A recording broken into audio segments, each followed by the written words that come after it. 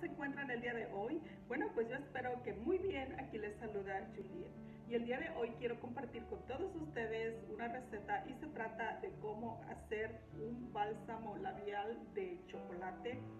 A mí me encanta mucho prepararme pues mis propios bálsamos labiales y pues es bien fácil de hacerlo y solamente requiere pues unos cuantos pasitos y bueno, pues en esta ocasión quise prepararme este ya que pues ya está de pronto viniendo la temporada de frío y es cuando pues a mí me gusta mucho pues proteger los labios con un buen bálsamo labial.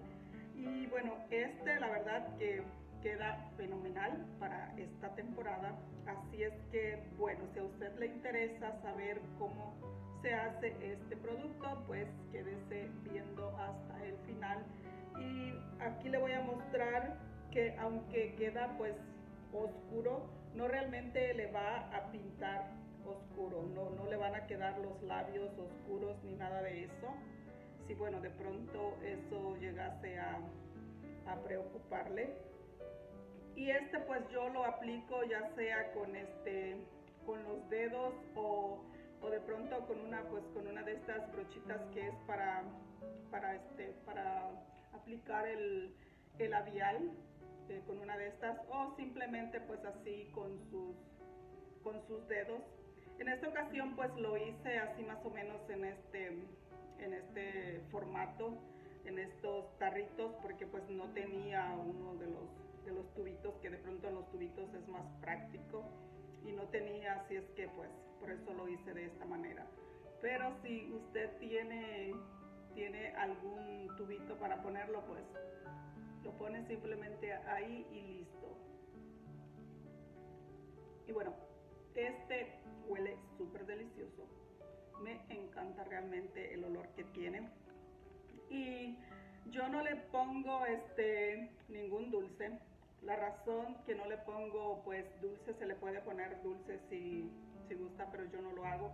Porque de pronto cuando nos lo aplicamos en los labios, eh, pues la, la, idea es que, que este, nos proteja los labios, pero si le ponemos algún dulce, que podemos hacerlo, pues entonces, como lleva dulce, pues siempre terminamos haciendo esto y prácticamente pues nos lo comemos, así es que los labios igual se resecan, entonces pues por eso no tiene caso que se le aplique un dulce, pero si usted quiere, usted lo puede hacer. Yo no lo hago y bueno, así es que, y la verdad que hasta sabe bastante a, chocolate. Así es que bueno, pues no me enrollo más y pasemos a ver la receta. Y bueno, pues aquí tengo un frasco de cristal donde estaré poniendo pues la a derretir la cera de abeja y estaré utilizando lo que es una cucharada sopera de cera de abeja. Puede también estar utilizando otro tipo de cera vegetal si de pronto pues es alérgica a los productos de las abejas. Y bueno pues eh, ya tengo aquí lista mi olla donde lo voy a llevar a baño María. A mí me gusta calentar primero la, la cera de abeja que se derrita un poquito.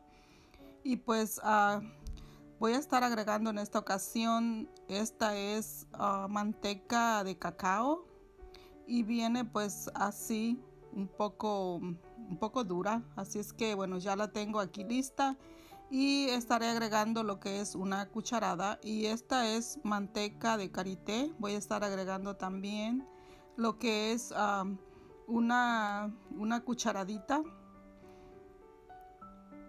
y aquí tengo aceite de coco. Voy a estar agregando también una cucharadita pequeña del aceite de coco. Eso va a hacer que pues le dé como un brillo. Y pues aquí tengo el chocolate. Es uh, cacao en polvo 100%. Tiene que ser sin sin azúcar, que sea 100% puro cacao. Y aquí tengo un frasquito donde voy a estar almacenando. Yo creo que me va a salir más de uno, así es que bueno, pero ya tengo listo mi frasquito limpio. Y ya de este lado la cera empezó a derretir. Y ya posteriormente pues estaré retirando un poquito del fuego para estar pasando a agregar las demás este las demás uh, mantecas. Me gusta hacerlo de, de, esta manera no poner todo junto al mismo tiempo.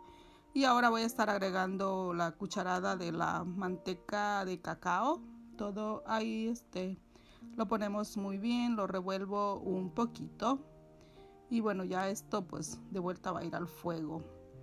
Y bueno también estaré agregando lo que es la, la manteca de karité.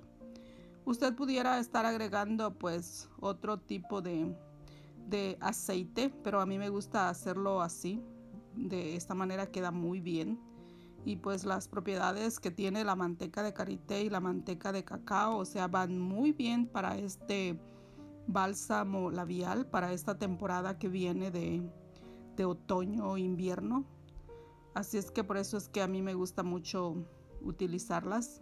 Y pues como ya le dije el aceite de coco es para que le dé pues ahí como como un brillo porque si no lo estuviera agregando quedaría como un poco más este más o más opaco pero con el aceite de coco pues le, le, da ese ese toque de, este de brillo y se desliza muy bien también. Pero tiene que poner no no mucha cantidad porque si no se va a poner muy este uh, va a estar muy aguado también.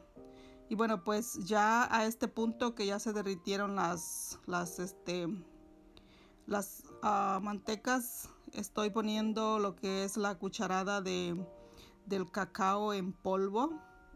Puede ser también un cacao que usted de pronto tenga y lo puede estar moliendo. Yo también por ahí tengo este un cacao que, que me llegó directamente de México. Pero pues uh, en esta ocasión quise poner este comercial. Y así es como queda con esta, con esta consistencia. Y huele súper rico. Ya está dando el olor a chocolate bien rico. Y pues uh, el cacao este que es 100% puro, el que es negro, o sea que no tiene mezcla de nada. Eh, es, muy, es muy bueno también para, para la piel. A mí me encanta hacerme también mascarillas de, de cacao. Quedan muy, muy bien y bueno pues voy a estar eh, poniéndolo todo en el en el este en el recipiente de cristal que tengo aquí y voy a estar ah, poniendo otro también porque bueno hice suficiente para, para dos. Así es que bueno ya este ya está listo. A este no le quise agregar ningún este ningún saborizante ni nada. Y bueno pues ah, aquí están ya listos me salieron pues como ve dos. Y este este le puse un este un, saborizante de, de, plátano. Este es extracto de plátano y huele muy rico. Me encanta. Es de ese del que se hace para este para ponerle a los panecillos y eso. Y huele muy rico. Quedó muy bien así con ese saborizante de plátano. Y bueno, pues así quedaron mis bálsamos labiales de chocolate. Quedan muy bien, así es que bueno, pues es todo mi gente.